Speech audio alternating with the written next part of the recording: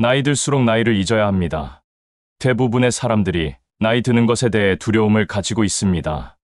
그러나 실제로 고령의 노인들에게 현재의 생활이 어떤지를 여쭤보면 의외로 현재의 삶이 불행한 것만은 아니라고 대답하시는 분들이 많죠. 나이가 들수록 행복해지는 사람들의 행복 이유는 다양합니다. 젊었을 때보다 많은 것을 잃게 되는 고령자가 실제로는 행복감이 저하기는커녕 오히려 행복감이 커지는 현상은 세계 각국의 심리학적 조사에서도 나타나 있어서 고령의 역설이라고 부르기도 합니다. 객관적으로 보면 나이가 들수록 줄어들어야 할 행복감이 고령자 본인에게 있어서는 오히려 증가하고 있다는 모순된 현상을 말하고 있는 것입니다. 오늘은 고령기의 행복감이 오히려 향상되는 이유 10가지를 나눠보고자 합니다. 첫 번째, 다른 사람과 비교되는 상황이 줄어들어 마음이 평온해지는 것. 은퇴를 하거나 그동안 참여했던 커뮤니티에서 손을 뗄 나이가 되면 다소 외로움을 느낄 수는 있겠지만 한편으론 많은 사람과의 관계에서 해방되어 마음이 편해질 수가 있습니다. 다른 사람과 나의 능력 차이나 처지를 비교해서 스트레스를 느낄 필요 없이 자신의 가치관에 따라 내 페이스대로 지낼 수 있는 일상은 마음의 평온한 행복감을 가져다 준다고 할 수 있겠습니다. 두 번째, 자신에게 맞는 새로운 공동체.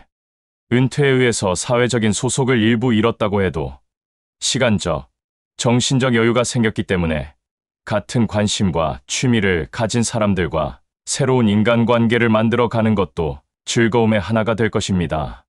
또 지금까지의 경험을 살려 다른 형태로 사회에 공헌을 하고 싶어 하는 고령자에게는 보다 자신에게 맞는 새로운 공동체와 보람도 느낄 수 있을 것입니다. 세 번째, 지금의 자신에게 맞는 최적의 목표 계획. 나이를 먹어도 자신의 노력에 의해서 젊은이에게 지지 않는 체력이나 지식을 계속 연마하는 사람도 있지만 대다수 사람들은 어느 정도의 시점에서 나이에 맞게라는 현실에 맞추어 잘 적응하며 살아갑니다.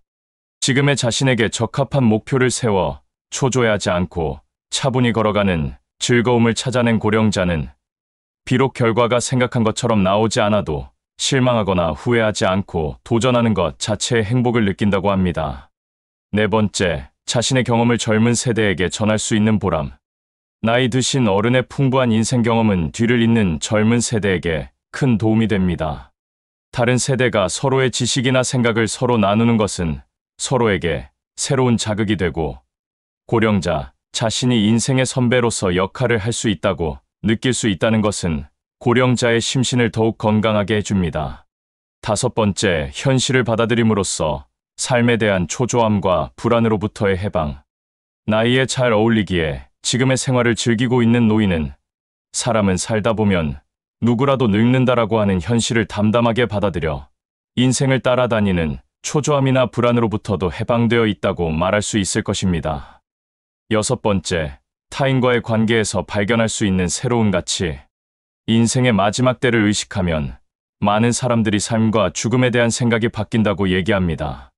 지금까지는 그저 당연하게 지내온 일상이나 계절의 변화에 마음이 움직이거나 가족, 친구와의 사랑이나 우정의 새삼 감사의 마음을 가지며 거기에서 행복함을 찾습니다.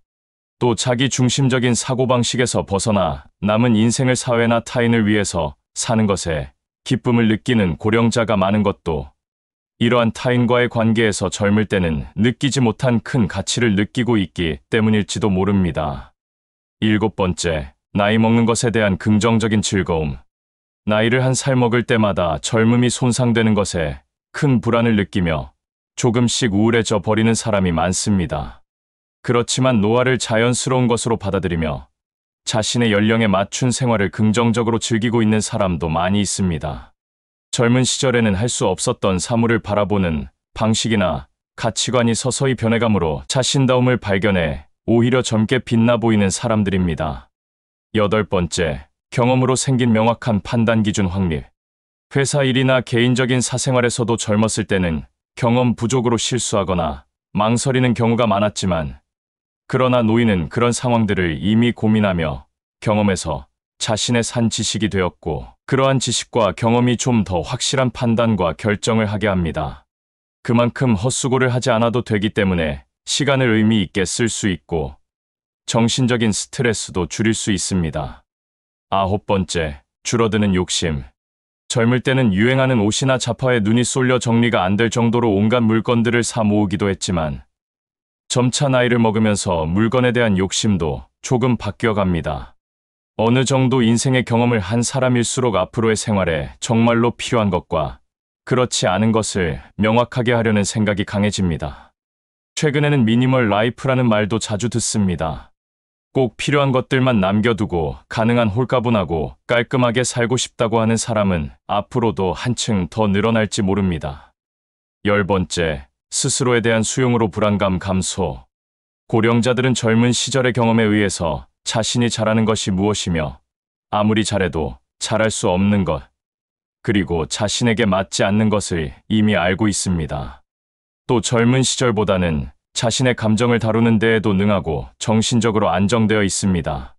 그래서 무리하지도 않고 너무 과하게 꾸미지 않고 살아간다면 인생을 더 즐길 여유가 생기고 나이 들에 대한 불안감도 줄어듭니다. 경제적으로나 건강면에서 생각하면 고령의 현실에는 힘든 부분도 많이 있는 것은 사실입니다. 하지만 젊은 시절부터 쌓아온 경험, 다가온 감성은 나이를 먹어야 삶의 활용이 됩니다. 자신이 지금 가지고 있는 것의 가치를 알고 인생은 지금부터라는 생각으로 자신다운 행복의 본연의 자세를 지금부터 천천히 찾아가는 사람일수록 하루하루를 아무 일 없이 편안하게 살 수 있을지도 모릅니다. 결국 젊은 사람보다 행복해질 수 있는 비결은 나이 들물 자연스럽고 긍정적으로 받아들이고 현재의 자신다움으로 과거보다 미래의 새로운 꿈을 가지고 하루하루를 자신의 마음에 맞는 사람과 관계를 맺고 자신에게 적합한 일을 하며 활발하게 살아가는 것이 행복한 삶을 살아갈 수 있는 비결입니다. 오늘 영상을 보신 모든 분들의 행복이 끝이 없으시길 진심으로 바라겠습니다.